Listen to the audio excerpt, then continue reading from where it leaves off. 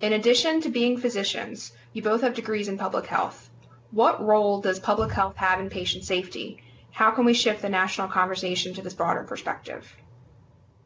Yeah, this is something I think we've talked about over the years, uh, you know, in the in the community. Um, and again, like you say, some of us who have you know public health training, public health backgrounds, it's pretty easy for us, I think, to see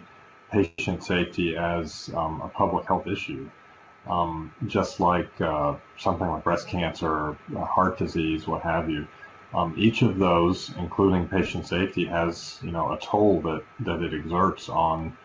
uh, on the population, on the public's health, um, and and that translates into harm, into morbidity, mortality, people you know uh, suffering consequences of, of these events, and so um, you know, we, we, see in some estimates the same numbers of deaths uh, uh, as you see from breast cancer per year. And we don't always think about it the same way because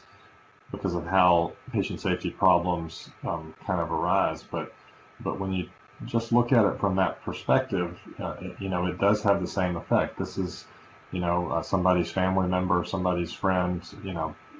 people in the public who um, you know, are either not here in the worst circumstances or have a significantly altered, you know, life path because of uh, these unfortunate events, again, that nobody wants to happen. And so I think, you know, applying some of the same principles of uh, epidemiology and, and, surveillance, and then when we have that information that we get from those uh, those endeavors, you know, applying it in a way to actually take some action that, that prevents, that mitigates the harm and, and um, mortality that we see. I think that's probably the biggest takeaway for me, uh, and and hopefully others are starting to see it that way as well. This is, I, I think, um, we've unfortunately, um, with good intentions, made patient safety special in that regard. Uh, uh, it's certainly important, but it's not special in terms of, again, the toll that it ha- has on the public's health. So I think you know um, that that kind of um, thinking is changing in, in, a good way with with better recognition, better awareness. So I think there is you know um, you know more more appreciation for the problem, you know, with those perspectives in mind. And um, I would just add that so when I was um, uh, CEO of the National Patient Safety Foundation, um, uh, we had put out a call to action a few years ago saying patient safety is a public health issue based on the toll that we know it takes um, on, on uh, both physically and emotionally uh, on patients. And, um, you know, one of the key um, pieces of that was as you think about other public health issues, whether it's you know smoking or breast cancer or whatever it might be,